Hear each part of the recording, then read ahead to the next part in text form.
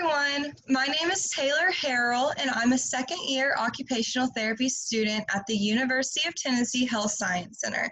And today I'm going to be talking to you guys about occupational therapy in an outpatient setting. As many of you know, there are several settings occupational therapists can practice in, some of which include a hospital, schools, nursing homes, home health, correctional facilities, and more. But for my in-service, I'm going to be focusing on outpatient settings. I picked this topic because I am starting my level two fieldwork at the end of September, and I'm going to be doing my rotation at an outpatient clinic. I wanted to learn more about what to expect in an outpatient clinic, and I hope that I can teach you guys along the way as well during this in-service. The first thing that I want to talk with you guys about is the role of an occupational therapist in an outpatient clinic. As an occupational therapist, it is our role to assist individuals with their daily tasks by improving, maintaining, maintaining, or restoring function in order to promote the most independence of the client's ability.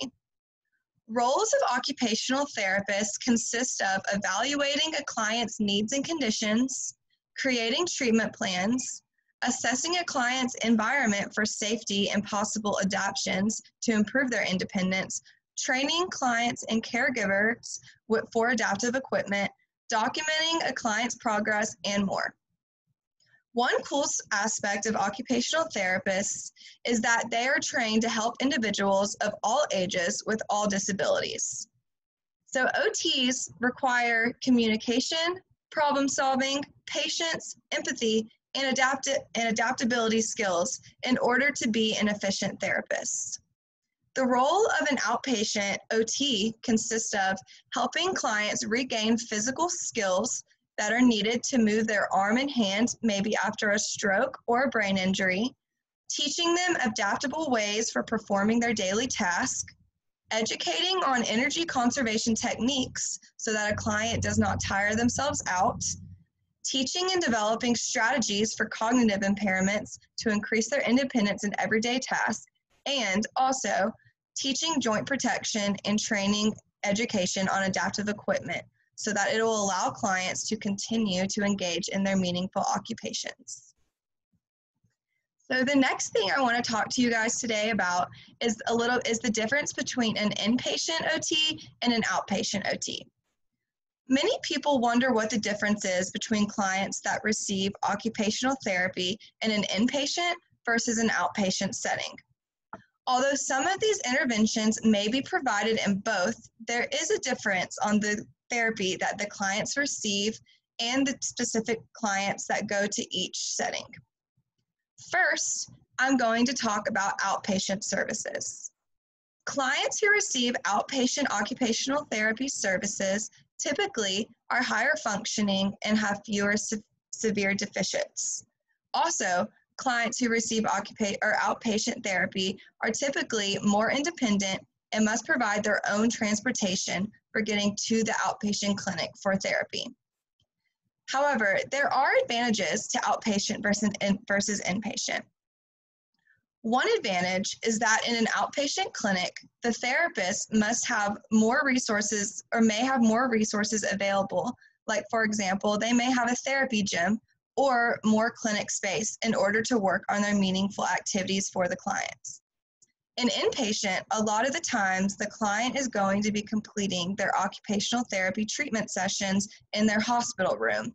So the activities may have to be modified to the space and resources available. Also, discharge planning tends to be simpler in an outpatient setting than in an inpatient setting.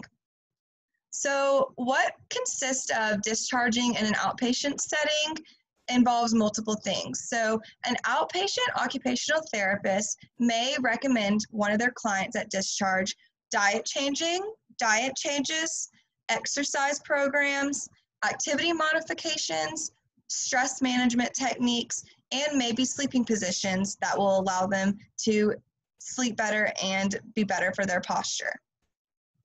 Also, occupational therapists may provide more recommendations and training on, sp on splints, braces, adaptive equipment, and orthotics. There is some barriers to OT in an outpatient clinic compared to an inpatient clinic. And one of those is that the clients are responsible for getting to and from their sessions.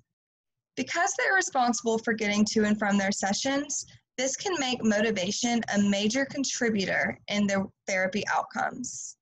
So if a client thinks that they are not seeing any improvement or they think that they should maybe be improving faster than how they are at the time, that may be a, a reason that the client may decide they want to discharge early or they might just stop coming to the treatment sessions altogether.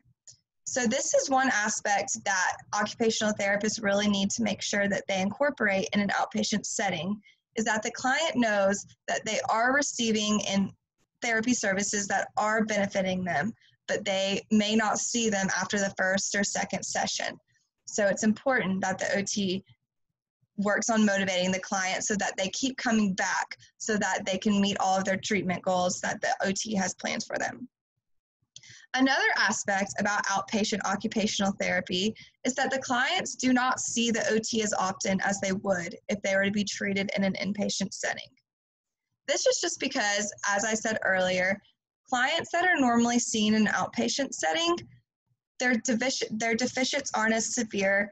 Um, they may have just come from an inpatient setting where they have progressed a lot since maybe they had a stroke or they got into a car accident some kind of brain injury, they probably already went to inpatient, but now they're an outpatient and they're starting to get better and see some results. So they don't have to be seen as often as if they were to be seen in an inpatient session. Um, this overlaps with the notion that clients that are seen in OT in outpatient setting typically have a less severe medical condition and they're more independent a lot of the times. So the next is OT in an inpatient clinic. So, occupational therapy in an inpatient clinic typically treats clients that have experienced a sudden decline in their medical or functional status due to a traumatic event, an onset of a condition, or a worsening or progressive disease. For example, someone who just experienced a stroke would receive OT in the hospital setting, maybe to address self care needs. So, they may not be able to, after their stroke, they may have trouble being able to brush their teeth again or getting out of the bed. So, self care is a very important um, aspect that someone in an inpatient setting would work on. Also, functional mobility of their neglected side um, to improve functioning to regain or restore as much fun- independence as possible. So, when, when um, a client has a stroke, it's their opposite side that's affected.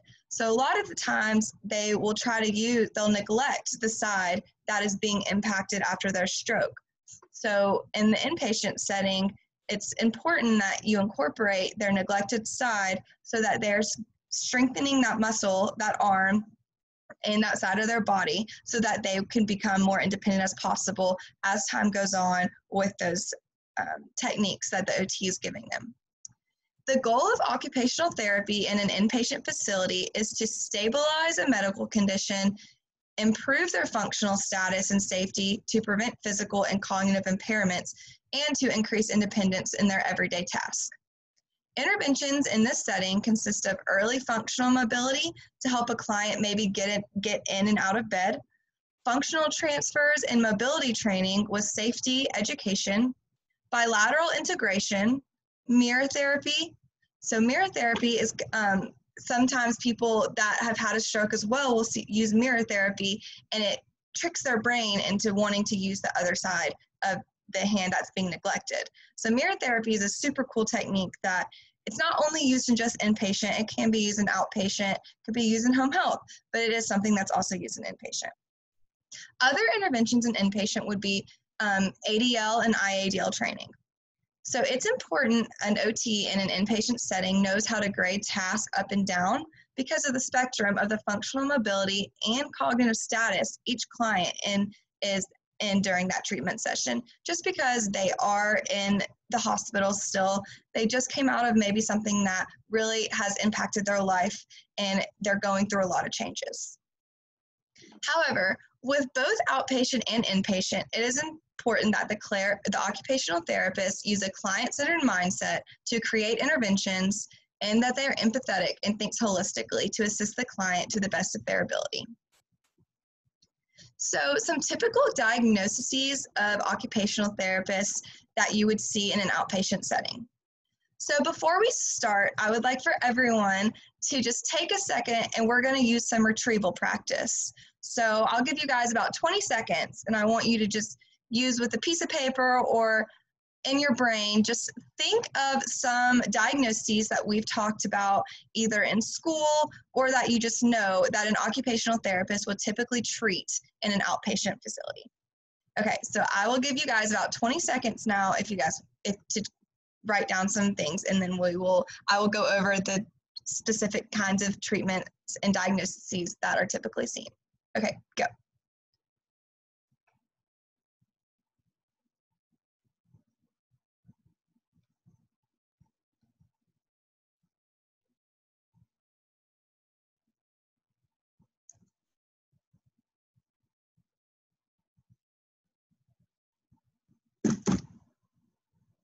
Okay, so I know that we um, are not in person, so I can't have anyone tell me exactly what they wrote. So I'm going to go over and discuss the typical diagnoses that an OT would see. These consist of post-operative procedures, orthopedic diagnoses, chronic overuse injuries, acute injuries, surgeries from a fracture, joint replacements, muscle sprains and tears, soft tissue injuries in the ligaments and tendons. So pretty, they're OTC a lot, but a lot of it is orthopedic diagnoses. My fieldwork in um, September is actually an all outpatient with just hands. So they work with a lot of hands as well. Some of the specific diagnoses would be rheumatoid arthritis, cubital tunnel syndrome, carpal tunnel syndrome, upper extremity fractures, and lateral and medial epicondylitis. Common interventions used in this setting include splinting, Physical agent modalities, so some example of some physical agent modalities would be an ultrasound therapy, iontophoresis, paraffin, electrical stimulation, neuromuscular electrical stimulation, and hot and cold therapy. Other interventions would include deep breathing, guided imagery, health education, activity modification, IADL training, therapeutic exercises, strengthening exercises, therapeutic activities, um, to work on their range of motion and to help with their gross and fine motor skills. That is something that a lot of OTs in this setting see. OTs also in this setting work with clients by doing retrograde massage, soft tissue massage, scar management, passive and active range of motion. So there are a lot of things that OTs in this setting do. That is a little bit different than what an OT would do in an inpatient facility or in another facility. However, in all facilities, an OT can do the same things. It just depends on the client.